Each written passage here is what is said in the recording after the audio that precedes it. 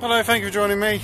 I'm just walking along Lower Road in Chalfont St Peter. I'm about half a mile away from the village centre and today we're going to Chalfont Park. Now, most people, if you go to Chalfont Park, you wouldn't come the way I'm coming, but the reason I'm bringing you this way is because I want to show you the original entrance. So this is the old road to Buckingham that way, and if you went that way, you'd have ended up in Uxbridge.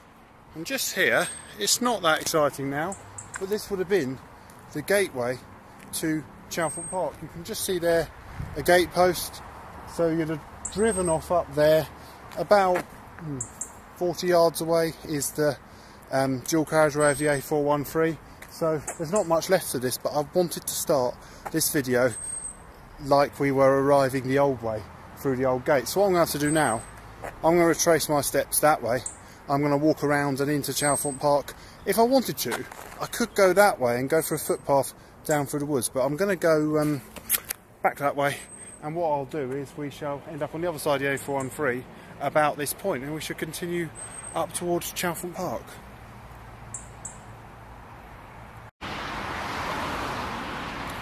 So here we are on the other side of the A413. We were literally just over there a moment ago.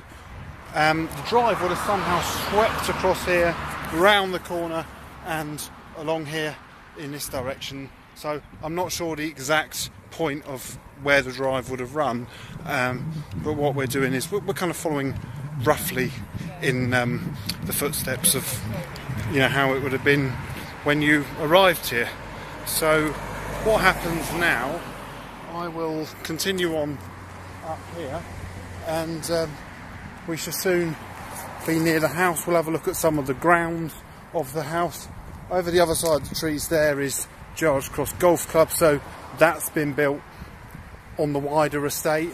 So really all of what you see now would have been, you know, Parkland. You know when you go up a drive sometimes to some of these big stately homes and you're just sort of driving through Parkland, it'd have been like that really.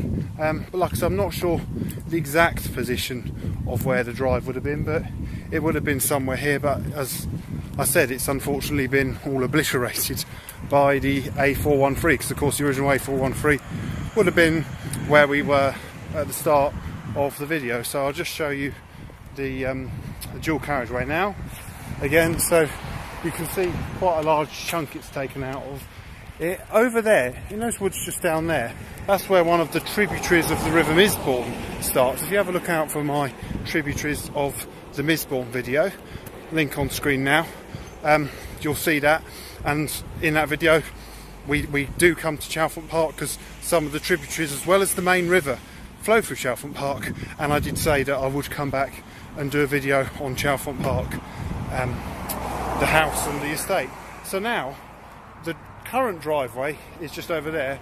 I'm on this cycle path which doesn't really go anywhere other than Chalfont Park. Um, I remember them building it. I'm not sure if the point was for it to go all the way to Denham, which would have been really useful to be able to have cycled to Denham and to Uxbridge. I'm not sure about that, or if it was purely for people who work in um, the business park, which is also here at Chalfont Park, which we shall get onto fairly soon once we get close to the house and we look around the estate. So um, we're just continuing along here now. I know this isn't the most exciting part of the estate, but um, it's going to get better. So what I'm going to do, I'm going to carry on walking along here. When I get to a more in interesting part of the estate, I shall show you. Well, we are now reaching the end of this cycleway. See what I mean? It kind of just ends there a bit abruptly. Not really sure why it ends here, whether it is purely for people who work here, because there isn't really anywhere you could safely cycle on. If you go along there, um, to the end of this road, you end up on the A413 where it's a dual carriageway. So, you know, there's no kind of nice real way to carry on cycling. But if you want to come here for a walk, it's it's a really nice place. You can walk around and um, see the estate. So if you look here, we've got some of the original wall, or well, I say original.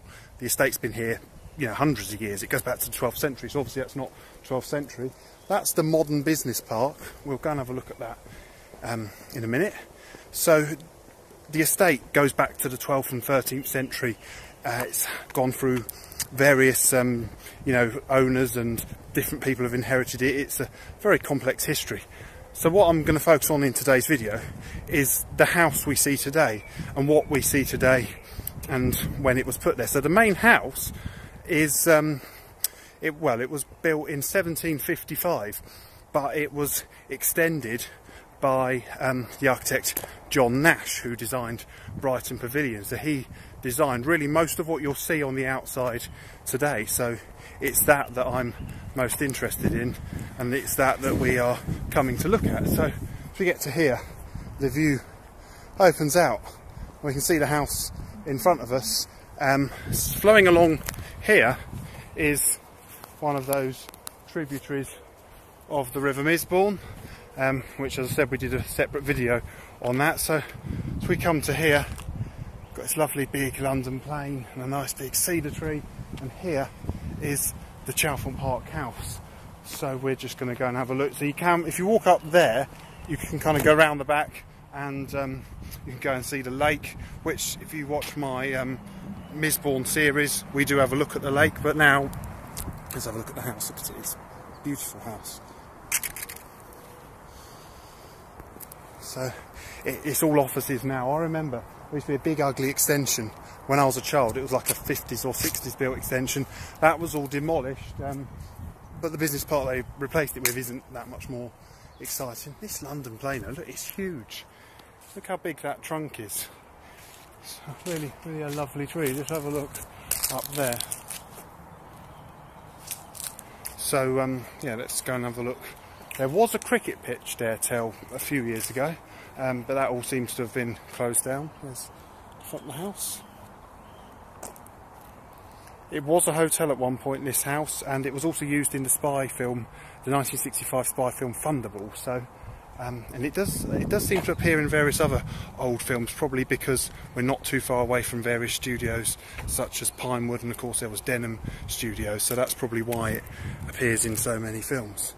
So let you have one last look at the front. Let's go around the back. So as we go round here onto the lawn, there's a lot of Canada geese enjoying the lawn. So as for the grounds of the house, um, Capability Brown came here to do a feasibility study of the estate to see if he could landscape it, but he didn't get the job. In the end, the job went to Humphrey Repton, who was kind of his rival. Quite a lot of country houses either Capability Brown or Humphrey Repton. Humphrey Repton did the Shardeloes estate, which we went to on the River Misbourne series. The River Misbourne flows through two Humphrey Repton estates. Just rather nice pond here. You see the back of the house. So the back of the house, it's this um, Gothic style. They call it a Strawberry Hill Gothic style which I think is a really attractive um, style. One day we should go to Strawberry Hill House in London and um, make a video there. But now let's go over to the lake. So this is all the Humphrey Repton Parkland. So I think probably where the A413 is, that probably would have had a lot more of Humphrey Repton's work. Um, the grounds would have been laid out, but unfortunately the road was put through it. But here is the River Misbourne. I do remember as a child there weren't so many bushes, so you could stand on the other side of the lake and get a really nice picture looking across at the house, um, which that view kind of isn't possible anymore. But here is the River Misbourne, and it's dug out like a lake. And um, if you look that way, you get a nice view of the back of the house. So there was a big, that area there where those, where there's a car park behind the hedge, that was a big, ugly 1960s building which um, like I say, it was demolished in about 2000 and they replaced it with um, the business part you see today, which um, isn't that much more attractive. But I'm going to leave the lake now. We'll come back to the river soon. It's so clear that water. Let's go and leave the lake. I want to go and show you some more former gardens that were once here. Well, and to a certain extent still are here, but have been altered to accommodate today's office needs. It's interesting though, when you look at the house from this angle, kind of gives the impression that, you know, these, what are now external walls, have at some point not been external walls. There's a vegetable patch there, growing tomatoes, that's quite nice. Um, I quite like this building. Now, I'm not exactly sure when this one was added. You can see it's got the castellated towers. What we'll do, if we go over here, we'll go and walk through it. So if I'd come here 20 years ago, I'd have been in the middle, inside the middle of a 1960s laboratory style building. Um, so it's changed quite a lot, but somehow this building, I'd, I'd love to see, if anyone's got any pictures of how it all was in the 60s, I'd love to see them because this would have been somehow in the middle. Um, I've only got about one picture I've ever seen of how it was, um, giving some clues away to how it's been here through the years. Look, you've got some Crittall windows here, which, um, you know, they're, they're an endangered species. So if we come through here, leaving the castellated house, gatehouse behind us. Um, I'm not so sure if that was intended to be a gatehouse. Maybe this was the entrance to the stables, because somewhere around here there would have been stables. Now, let's go and look at the old Italian gardens. I know parts of these were designed by Edwin Lutyens. I'm not sure if this building here was, but certainly when we go through here, it has all been been changed over the years. But what you see looking down there was designed by Edwin Lutyens. The building at the end was the old gardener's cottage. It's now a nursery for children. Um, I wonder how many children go to a nursery that was designed by Edwin Lutyens. But where you see this grass with the pond in the middle, it would have once steps down. So there were sort of steps going down to a pond in the middle. So yeah, it's really um, quite an attractive garden. Um, it's kind of, it sort of works as it is today with the offices. Although really I'd rather it just was as it was, but I suppose, you know, as times move on, things change and I suppose it just isn't possible that every country estate can be a national trust place or indeed a tourist attraction, but at least we can, you know, still walk round and enjoy parts of it. One thing I'm not sure, someone might be able to tell me, is if this is fed by the River Misbourne, because as we know, the River Misbourne flows along behind the offices over there. Is this fed by the River Misbourne or is it, you know, a separate water system? I'm sure also it could have more water in it. I think I have seen it filled right up. So we're now just coming up towards the gardener's cottage. So just imagine these buildings aren't here. I'm trying to imagine me, you know, in the in the 1920s, strolling through an Italianate garden. Obviously, I wouldn't have had a camera in my hand making a video, but you know. Um, so yeah, here we are. This is the this is what I believe is the gardener's cottage, designed by Edwin Lutyens. And if you look that way, you get the vista of down through what was the Italianate Gardens to Chalfont Park House. Let's go and find the real River Misbourne again because I always enjoy a walk by a river. Um, so I'm just going to take you through this not so exciting area behind the office, although we do get a better view of the other side of Gardener's Cottage. Um, the kitchen garden would have been somewhere over there. Um, the place we're going to now is just through here. We're going to go down this little path um, and um, we're going to go down here and that's where we should see some more of the river. Now, if you watch my tributaries of the River Misbourne video, you will have seen we did come down here before um, because one of the tributaries springs out the ground just here. It's hard to see, but on the other side of that fence. Um, so I want to finish. We've been here twice before now where we're going to, but it's part of the Misbourne I really like. Went here on the tributaries of the Misbourne, and we went here on the main River Misbourne series.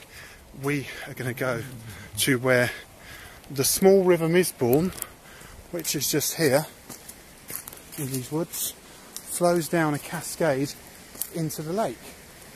So this is this is my favourite part of the gardens. I just always like it. It's nice and peaceful, and um, there we have the cascade. So from in the woods by the cascade in Chalfont Park. Hope you enjoyed this video.